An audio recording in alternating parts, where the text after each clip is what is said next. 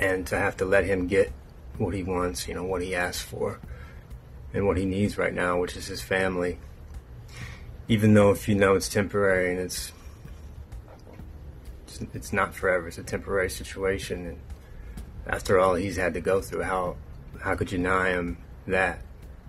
And because of what? Because uh, what some strangers might think or say Ryan Dorsey is speaking out about those rumors circulating about his family and opening up about how he and his son Josey have been doing since the death of his ex wife, Naya Rivera. I have to tell him, oh, she's an angel now and she's with God and she's in heaven. And he says, well, oh, I want to go there. How do I get there? I wouldn't wish that upon any of your ears to have to hear that. Hear those words come out of the sweetest soul you know. The 37 year old was visibly emotional as he shared that his life is not always black and white on Instagram Tuesday, following recent headlines about Naya's younger sister, Nickayla, who moved in with him and five year old Josey. He asked me if TT can live with us. I want TT to live with us forever because she's now the closest thing that he has to a mom. Because you're going to need all the help you can get as a single parent trying to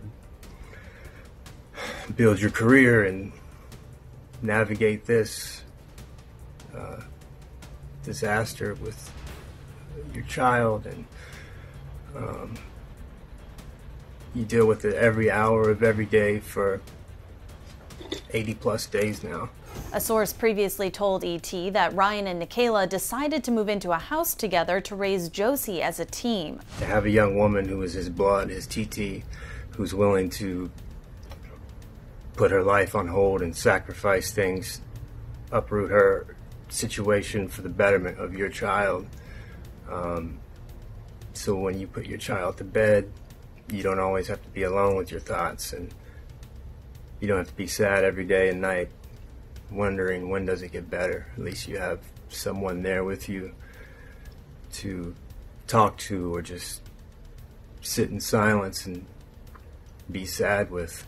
Rumors have been circulating that the two are romantically involved, but our source says that's simply not true. Quote, anyone who knows them knows it's completely absurd to imply that they are anything more than just family. I wasn't even going to speak on any of this, but um,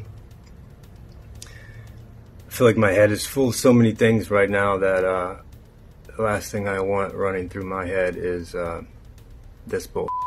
ET's source adds that the recent scrutiny they're facing really blindsided them, and they barely have the mental capacity to deal with it. I probably lost a little over 20 pounds. Um, I don't get good sleep. I'm sad every day. The source also says that Nickayla has been getting death threats in her DMs. And people, not just paparazzi, have been stalking them and taking their pics. I also hope if you ever have to deal with anything tragic that you'll have peace and never having um, people following you and take pictures and, and uh, creating a false narrative based on uh, an angle of a photo um, two people grieving who have been living their life out of suitcases and uh, you know, just trying to get settled into a new place. ET source explains, quote, they're beyond exhausted. These rumors and the resulting hatred they've received is pushing them over the edge. But it's 2020, and uh, this is life. It's 2020, man. What a year.